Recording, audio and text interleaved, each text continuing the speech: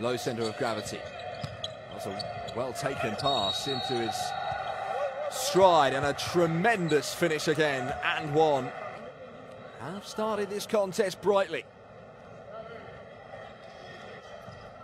Alvaro Colmenares dropped it at the key moment. Back outside. Look at the space here for Abreu.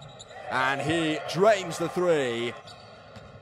They can turn this attack into points, and that's good for Munoz. Back outside, and wide open for a moment. Sanchez steps inside, and there it is. Caballos de Cocle knocks down a jumper from mid to long range. That's a great response, though, from Alexis Abreu. Rodriguez, who started this game really well. Sanchez, oh, beautiful. Sanchez. Finishes, but not before the whistle's gone. Missed by Rogers at first, recaptured, inside out, and this time good. Abreu. But it did count.